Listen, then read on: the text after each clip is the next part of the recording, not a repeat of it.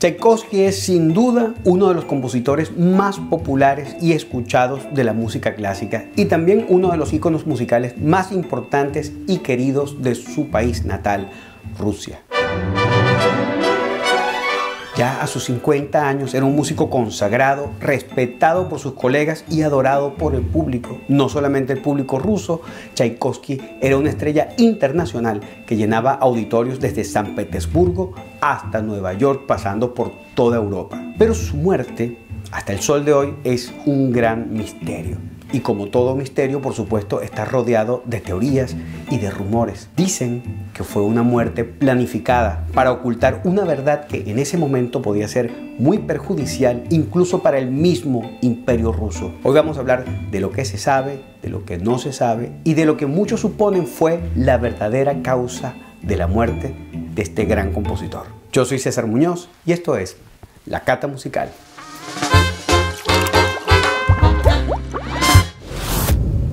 La historia y los primeros registros cuentan que Tchaikovsky murió en 1893 a causa del cólera, por haber tomado un vaso de agua sin hervir justo cuando la ciudad era azotada por una epidemia de cólera. El detalle es que ya en ese momento eso era algo que difícilmente pasaba por accidente, porque todos sabían que el agua había que hervirla para evitar la enfermedad. Y hay muchas otras cosas sospechosas que dan pie a pensar que probablemente esa no fue la verdadera causa de su muerte. Por ejemplo, Tchaikovsky perdió a su madre cuando él tenía 14 años, una muerte para él muy dolorosa y que nunca pudo superar. La madre de Tchaikovsky murió a causa del cólera, justamente por tomar agua contaminada. ¿Qué posibilidades hay de que a él se le olvide esto y que cometa el mismo error cuando la ciudad y todo el mundo estaba consciente de la situación? Otra cosa, el cólera, como se decía, era la enfermedad de los pobres.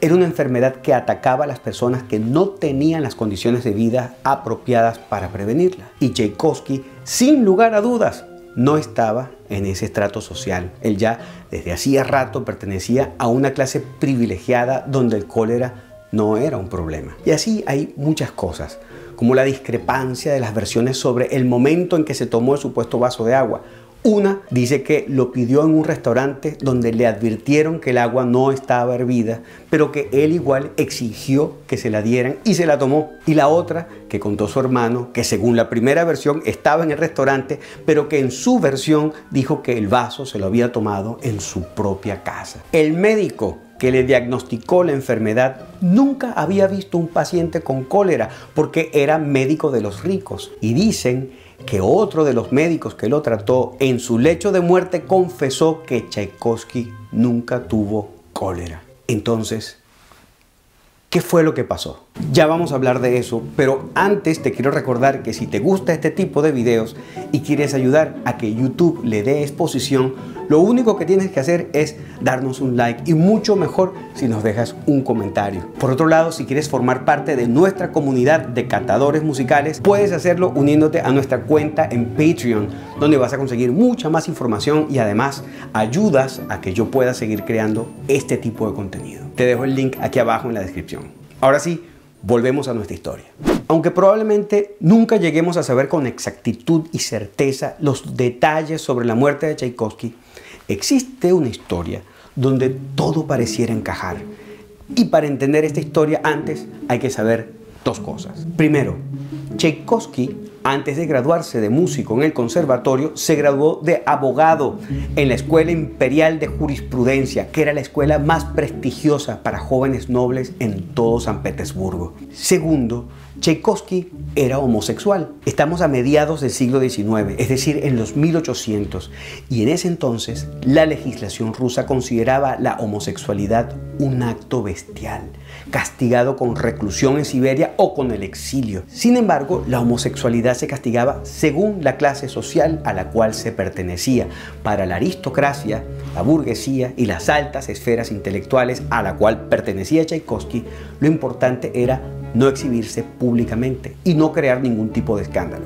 Es decir, ojos que no ven, leyes que no ejercen. Esas son las dos cosas que hay que tener claras para entender lo que viene a continuación.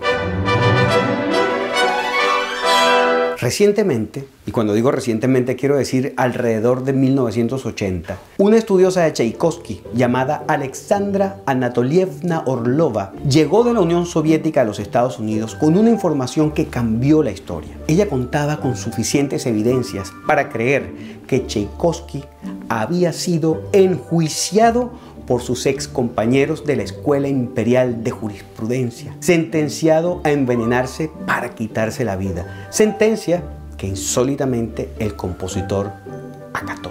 La pregunta es, de ser esto cierto, ¿qué razón tan poderosa podía existir para que Tchaikovsky accediera a tal condena por un tribunal que no era oficial y estando en el pico más alto de su carrera? Aparentemente, lo que pasó fue lo siguiente. Al duque Stenbock Fermor, miembro de la nobleza rusa, le llegó la noticia de que su sobrino sostenía una relación sentimental con Tchaikovsky. Este señor, indignado, lo que hizo fue que le escribió una carta al zar Alejandro III acusando a este músico de estar corrompiendo a su familia. El zar es el emperador y para hacerle llegar la carta al zar se le entregó al fiscal general, al señor Nikolai Borisovich Jacobi, quien resultó haber sido compañero de estudios de Tchaikovsky en la Escuela Imperial de Jurisprudencia. Jacobi, cuando ve la carta, se espanta pero no por la tendencia sexual de Tchaikovsky, porque eso era algo que ellos ya sabían, sino por el escándalo que eso iba a significar. Primero, la gente estaba al tanto del respeto y la admiración que tenía el zar por Tchaikovsky, por lo que una noticia como esta sería una vergüenza pública para la Casa Real.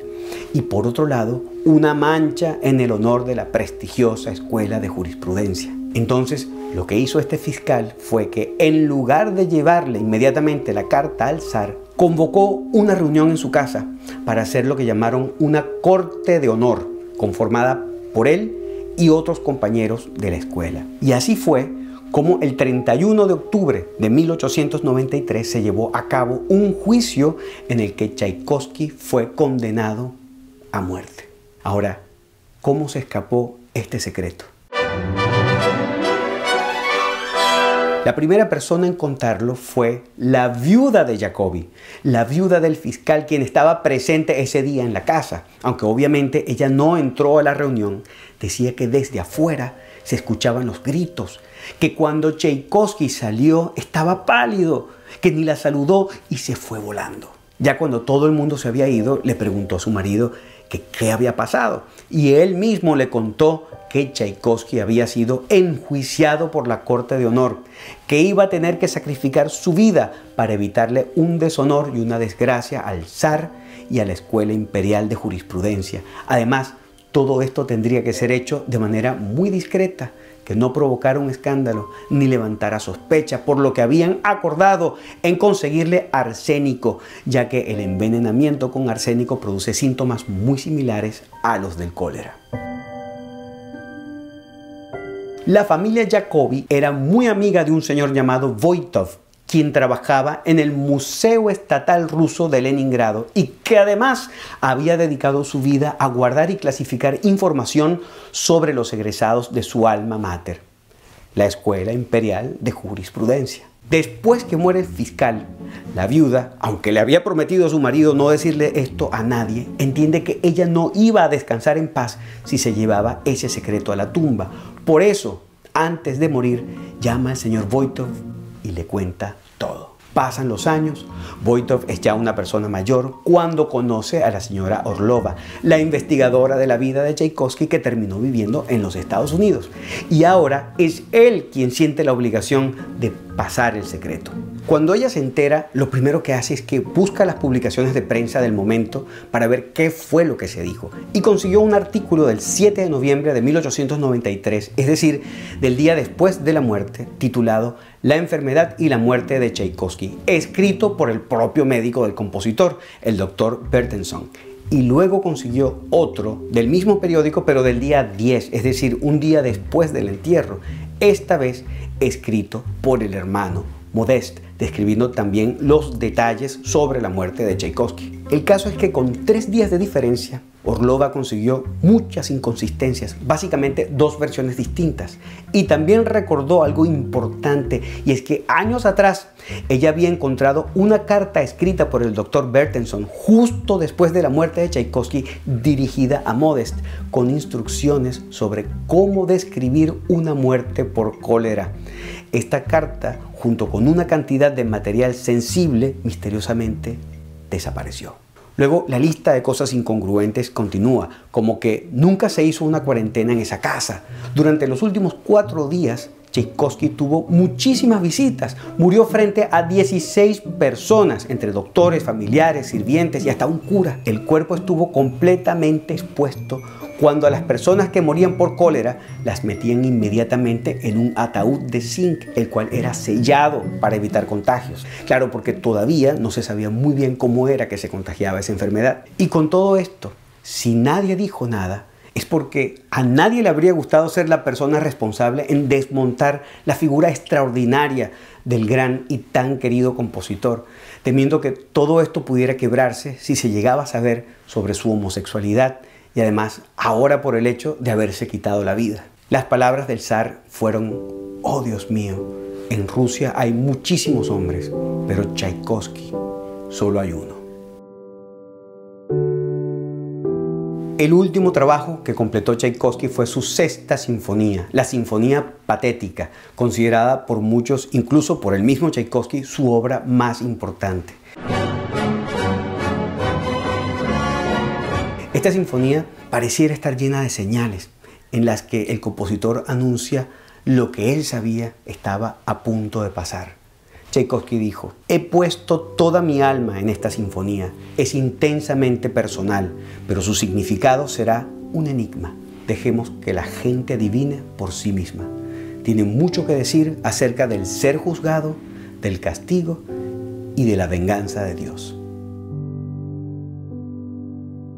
Como dije al principio, es muy difícil llegar a saber con toda certeza qué fue lo que pasó, pero es muy fácil sospechar que la historia no es la que nos contaron. El aporte musical de Tchaikovsky es invaluable. Compuso algunas de las obras musicales más poderosas y románticas que jamás se han escrito. El lago de los cisnes, La Bella Durmiente y El Cascanueces lo consagran como uno de los compositores de ballet más importantes de todos los tiempos. Supo incorporar el espíritu ruso en su obra y a partir de ese sentimiento nacional consiguió convertirse en un músico universal. Yo espero que ahora te sientas mucho más cerca de este compositor y que sobre todo te animes a explorar su legado más importante, que es su música. Muchísimas gracias por haberme acompañado hasta acá. Nos vemos muy pronto en un próximo video. Yo soy César Muñoz y esto fue La Cata Musical.